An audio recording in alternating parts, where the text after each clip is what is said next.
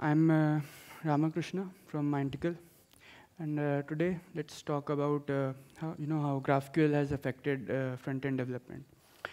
But uh, before we begin, let me first ask you, that, uh, as a front-end developer, what is the amount of time you actually get to write front-end, right? And by front-end, I mean you know actual UI components, like it's relatable, right?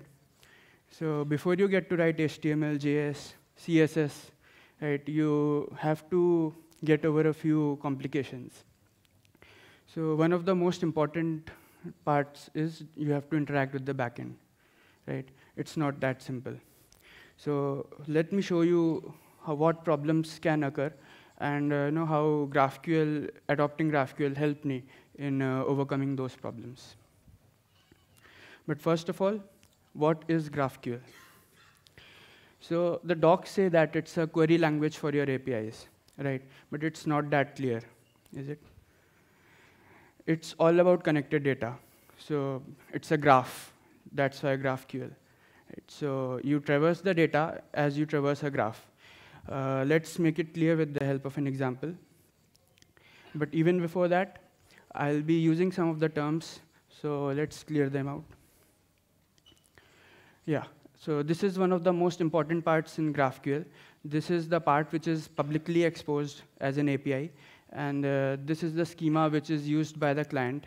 Uh, the client may be a web application or a mobile application or whatever. So resolvers have the duty of putting the data into the schemas. So resolvers connect with the actual backend, right?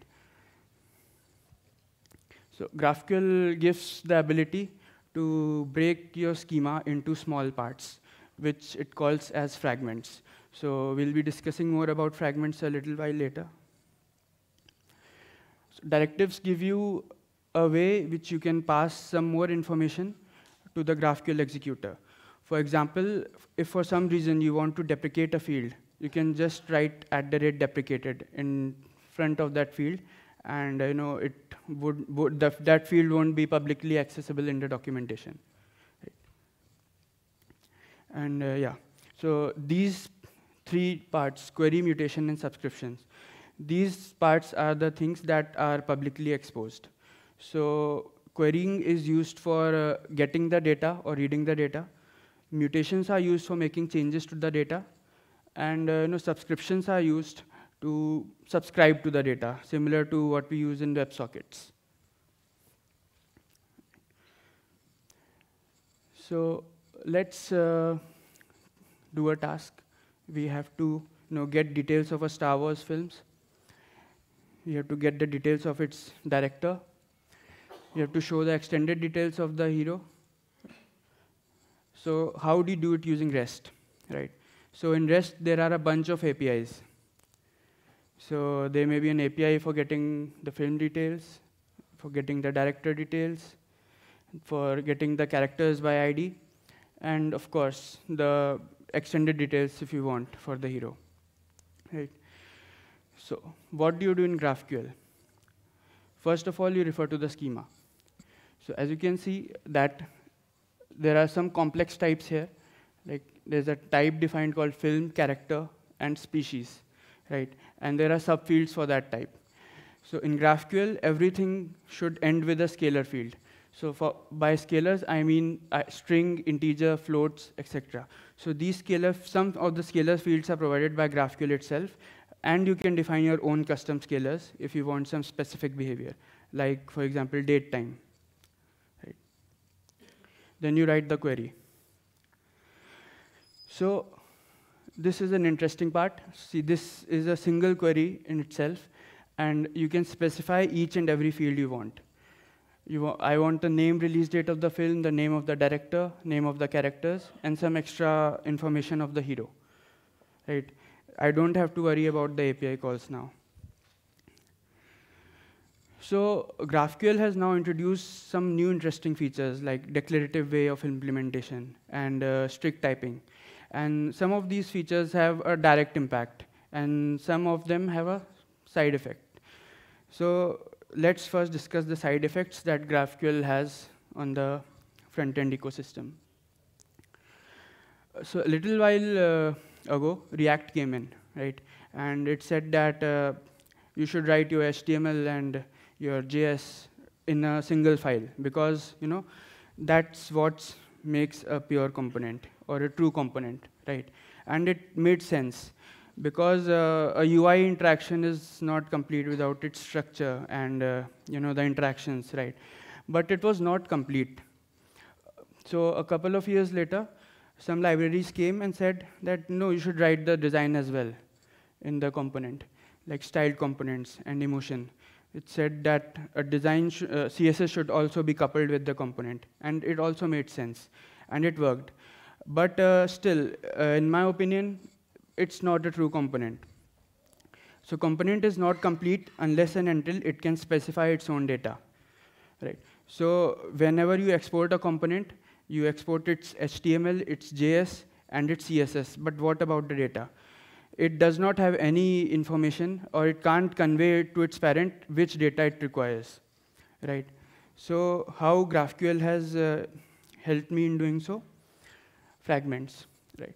So GraphQL gave me the ability to, you know, destructure or break my major type into small types. I have a director component, and I can define a fragment, which is director fields, and it, I can specify which uh, fields I want, or which fields this component wants. But still, this component still has no idea how to get those fields. This heavy lifting is done by the GraphQL server. It's a, a very declarative way in which this component has specified which fields it wants. So another thing was feature enablement. So uh, in our organization, we follow trunk-based development. So in trunk-based development, you create something and you merge it to master by the end of the day. So the problem comes that there are a lot of half-baked features which go into master. So what if you want to send a release, right? You would create a release branch, and uh, you would not want to send those half-baked features to production. But uh, the solution was here was that you cherry pick those commits, right? But as a front-end developer, I do not want to you know, spend my time cherry picking those commits. Uh, half of my time was going into it. And uh, there were still some commits which are going into production because, as you know, the commits are may, may have been uh, wrong. So we decided to come up with something called feature enablement. We said that you should ship every code to production, right? And uh, the environment will tell the code which features it wants enabled and which features it wants disabled. Right? It worked well. It worked well for components which had only UI interactions. But there are also components which queried the data from the backend. Right? For example, this component, the director component. The co director component is querying the director fields from the backend, right? If I want to disable the director fields, I was not able, I was able to disable the director component, but still the query was being sent, and that means more resources were being used. And maybe some error might have been creeping into the backend systems. So we use the skip directive. So this disabled director fields was hooked up with the environment, and uh, this was either true or false on the basis whether uh, this field was required or not in that environment. So if this field is true, it means that the director fields will, would be skipped and no API calls were actually being made to query those director fields. And the component is made in such a way that you know if the field is not coming, the component won't be rendered. So this is the part which uh, you know uh, impressed me a lot about GraphQL. So let's say uh, we have another task. We have to load a news section, right? It has a recommended section, and there are comments for every news. So we would call the first base API to fetch all the news. We'd uh, render the respective news section. Then we would lazy load, you know, all the comments and recommended section, etc we render the respective components, and now make another call to you know fetch more lazy loaded components, right, and render the respective section. So this is a very simple process, right? It's a very linear approach, and it worked well using REST. But what if you want to you know, change the lazy loading logic? Now, if I wanted to uh, make a blocking call to recommended section and uh, lazy load everything else. Now, this meant a whole rewrite of the you know, process. So GraphQL came up with something called defer. So in this query, you can see that if I want to defer some parts of my data, I can simply write at the rate defer, right? And create a big query and send it to the server. So in this case, the stories part, which is not deferred, is a blocking call. And when it is resolved, it would be sent to the client. What about the rest of the data, right? The data is streamed to the component.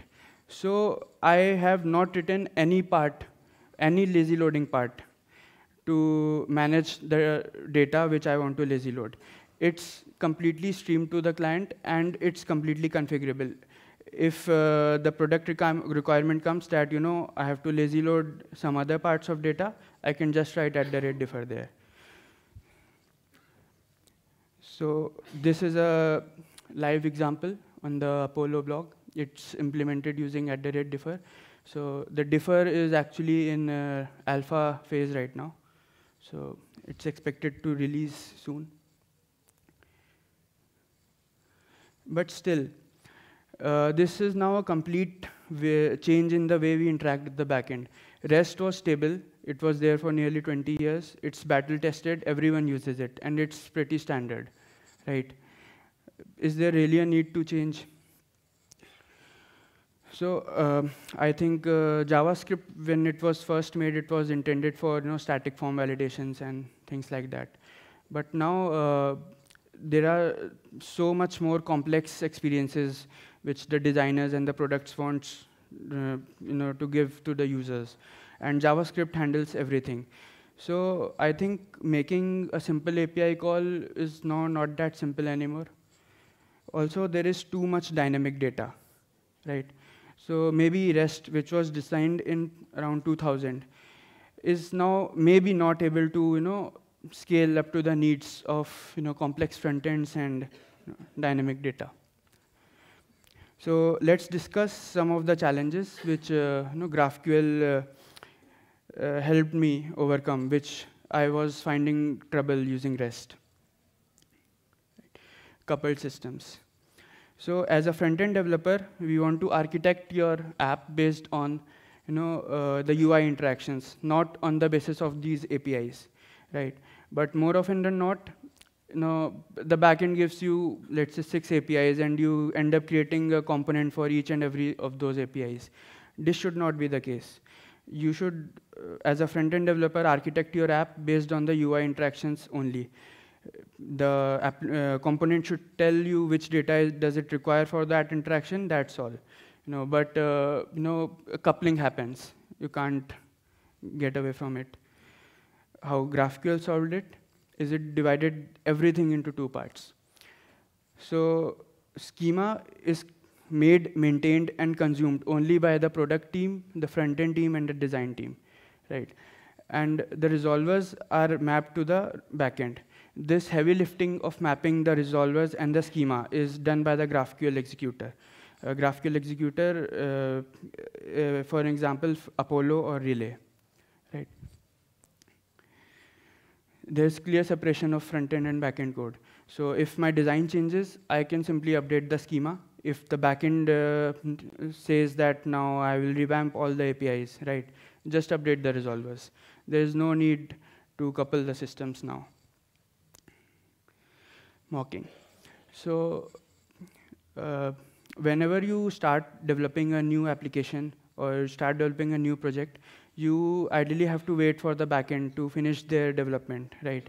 And only then you can, uh, you know, say that I'll start developing because before that there's no API ready, and uh, you know they may be unstable, but still uh, there are timelines. so you end up creating mock data. So to parallelly develop everything, you create a temporary replica of all the APIs, right? And uh, you develop using those APIs, but still it's not scalable. scalable. So let's say there are 20 APIs, you won't be you know, writing mock, mocking for each and every of those APIs for different structures, right? So the problem here is that it's not typed. I am not able to write a generic mocking framework which can you know, uh, scale for each and every API.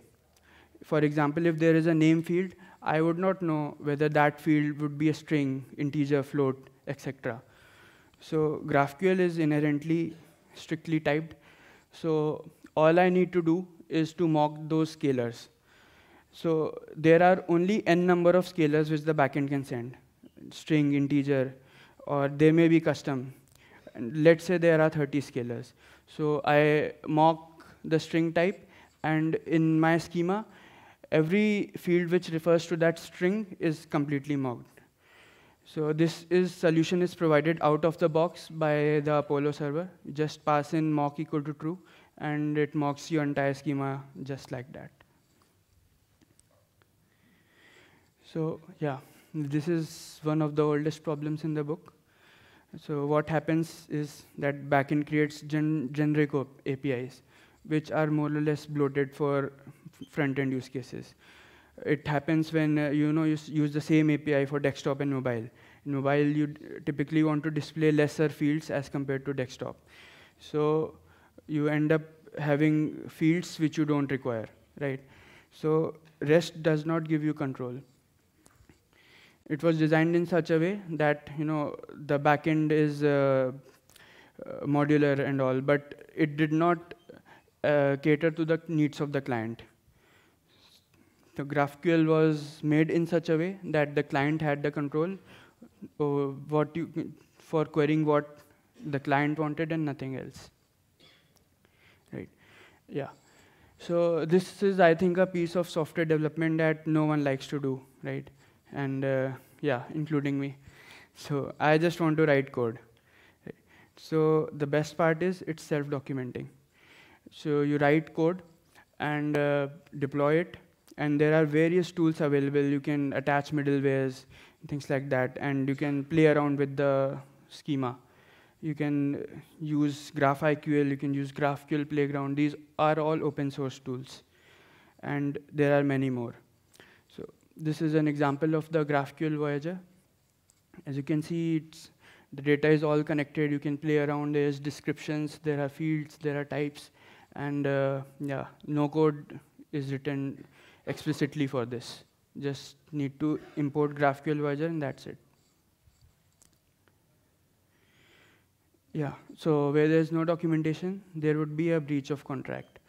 Uh, and uh, even if there is a documentation, there is no way you can, you know, possibly check whether you are uh, querying the correct fields in REST, uh, whether this field is available at the backend or not.